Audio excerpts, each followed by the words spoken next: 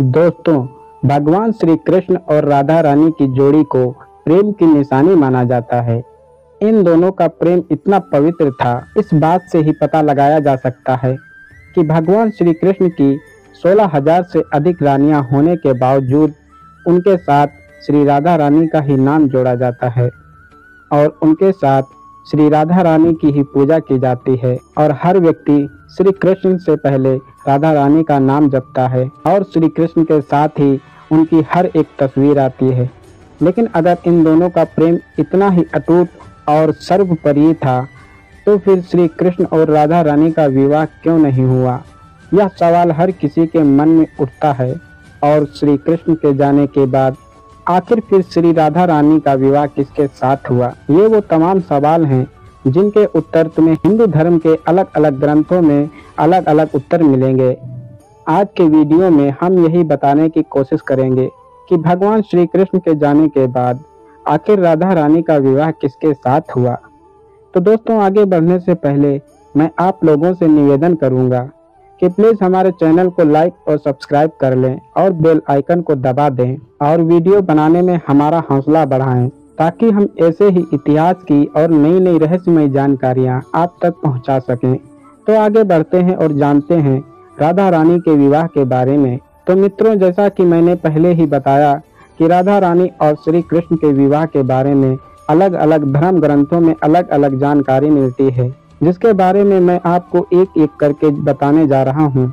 लेकिन उससे पहले यह जानते हैं कि आखिर राधा रानी थी कौन?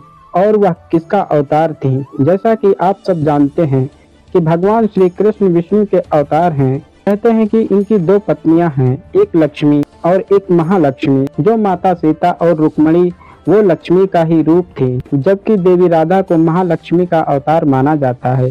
यहाँ पर यह भी बता दूँ कि भगवान विष्णु के साथ माता लक्ष्मी धरती पर अवतार लेती आई हैं। जबकि महालक्ष्मी ने धरती पर पहली बार ही राधा के रूप में अवतार लिया था और वो भी सिर्फ़ और सिर्फ़ श्री कृष्ण यानी कि भगवान विष्णु के लिए। द्वापर युग में भगवान विष्णु ने श्री कृष्ण के रूप में धरती पर अवतार लिया था। कृष्ण और राधा की प्रेम कहानी को कौन नहीं जानता? कृष्ण के बिना राधा अधूरी है तो राधा के बिना कृष्ण भी अधूरे हैं। कृष्ण को राधा से अलग नहीं किया जा सकता। जहाँ कृष्ण का नाम आता है, वहाँ राधा को भी याद किया जाता है। कृष्ण का बचपन गोकुल में बीता था। ब्रज का हर कोना आज भी राधा और कृष्ण के प्रेम की गाथा को ज़िंदा रखे हुए है। कहते हैं कि श्री कृष्ण और राधा के बीच इतना गहरा प्रेम था। फिर भी दोनों का मिलन नहीं हुआ। हालाँकि कुछ प्राणिक मान्यताएँ ऐसी भी हैं इसमें कृष्ण और राधा के विवाह का ज़िक्र है। ही भंडारी वन नाम की एक जगह है। बात की गवाह है कि कृष्ण और राधा का विवाह हुआ था। भगवान श्री कृष्ण की जन्म स्थली मथुरा से 30 किलोमीटर दूर, मठ तहसील में स्थित भंडारी वन में एक अनोखा मंदिर है। इस मंदिर में श्री कृष्ण और राधा की मूर्ति है। खास बात यह है कि इस मूर्ति में श्री कृष्ण के हाथों में बांसुरी नहीं, कि कृष्ण और राधा दूल्हा दुल्हन का वेश धारण किए हुए हैं और ब्रह्मा जी उन्हें आशीर्वाद दे रहे हैं। ब्रह्मवर्ता पुराण और कर्क संहिता में राधा और कृष्ण के विवाह का ज़िक्र मिलता है। इसके मुताबिक खुद जगत गुरु ब्रह्मा ने राधा और कृष्ण की शादी कराई थी।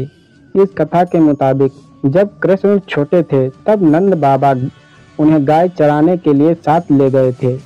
गाय चर रही थी और नंद बाबा थक गए थे, इसीलिए वह एक पेड़ के नीचे लेट गए और उनकी आँख लग गई। कुछ देर बाद उनकी आँखें खुली तो सूरज ढल चुका था और चारों तरफ़ अंधेरा हो गया था।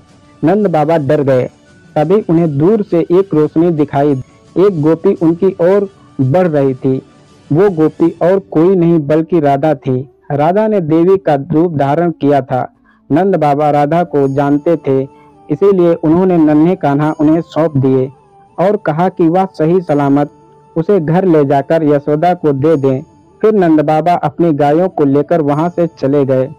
तभी एक चमत्कार हुआ और राधा की गोदी से नन्हे कान्हा गायब हो गए। कुछ ही पल में राधा के सामने कृष्ण भगवान के रूप में प्रकट हुए।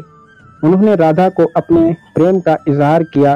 राधा भी श्री कृष्ण से प्रेम करती थी, मगर वह कृष्ण को खोने से डरती थी। श्री कृष्ण ने राधा को थोड़ी देर रुकने के लिए कहा। कुछ ही समय में जगत गुरु ब्रह्मा वहाँ प्रकट हुए। उन्होंने मंत्र उच्चारण किया और अग्निकुंड के साथ राधा और कृष्ण ने गंधर्व विवाह किया। विवाह होने के बाद ब्रह्मा जी चले गए और कृष्ण भी अपनी बाल अवस्था में वापस आ गए।